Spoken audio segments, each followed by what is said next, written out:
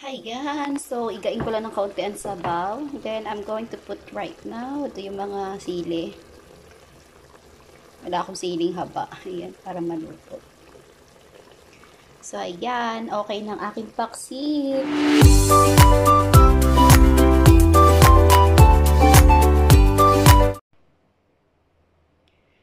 I'm craving for paksiw na bangus and um, just to let you know that bangus is one of my favorite fish. So, ayan. I'm going to cook for today. My menu for today is paksiw na bangus um, with, it, with some eggplant on the side. So, um, ayan, ready na po yung mga ingredients ko. I have the onions. I'm using the red onions and a bit of garlic And, of course, yung fish, nilinis muna natin siya ng talagang malinis. So, we bought this um, bangus fish in the Pinoy, uh, Pinoy shop in Blacktown. So, ayun guys, sobrang nag-enjoy ako. Sobrang daming pagkain Pinoy doon. So, ayun. So, since I don't have the gar um, the ginger na ano, yung yung luya na ano, ayan na lang gagamitin ko, yung ginger ground, and then black pepper, salt, and then yung vinegar. So, let's start cooking ng mga kaibigan. So, ayun, wala lang akong siling haba. So, carry na yan, basta maging paksiw. Basta maano ko lang yung, ano ko, yung pagkikrave ko sa mga foods. So, I already have my pan here. So, let's start guys. So, I'm gonna turn on Ayan. So, ang alam ko nito, pagluluto ng paksiw is halo-halo na lang. Which is, ito nga yung pinaka-easiest way na parang makaluto ka ng isang putahe na just put the all uh, just put all the ingredients together, all together. And then, iwanan mo lang. And then, boom. Tapos, luto na agad ang inyong, ang ating uh, paksiw na bangus. So, ayan. Lalagay ko lang muna yung aking mga ingredients. So, lagay ko muna yung fish. Fish.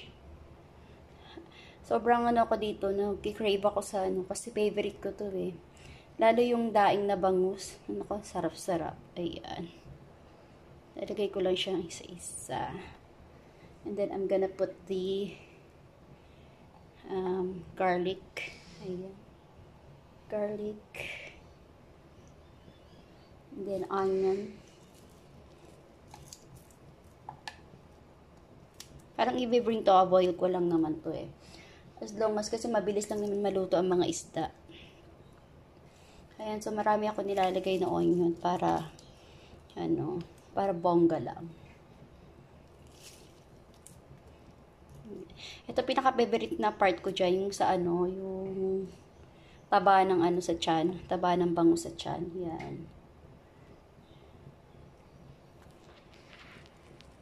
So, ayun naman. Lagyan ko naman siya ng black pepper. Ayan.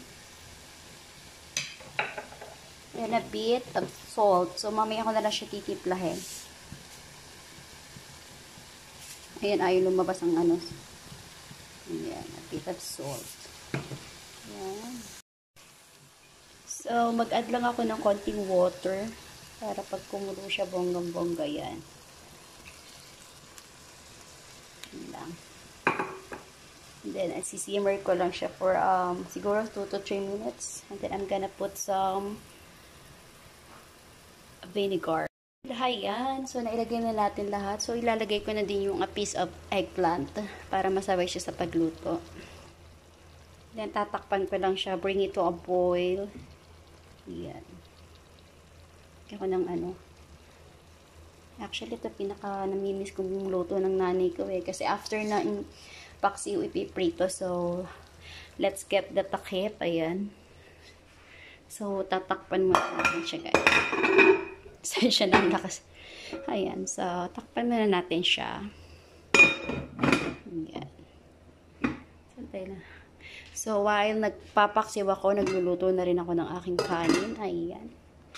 So, now, now, let's check. Ayan. So, ayun.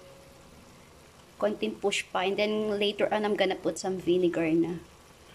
And, hindi ko alam kung tawag dito. Ayan, nausukan na. Ayan, lalagyan ko siya ng tatlong sili para, kasi wala akong siling haba. So, ito na lang.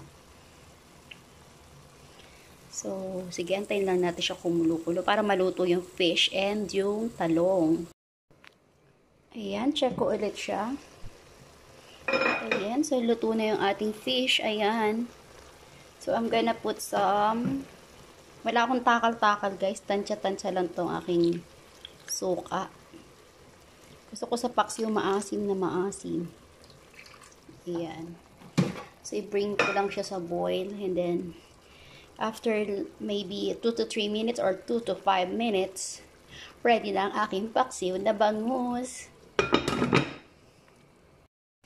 Ayan. So, igain ko lang ng kaunti ang sabaw. Then, I'm going to put right now, ito yung mga sili.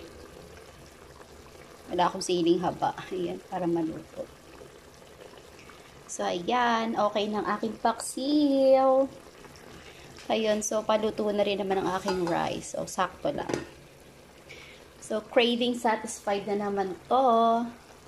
Ayan. Meron na akong paksiw na bangus.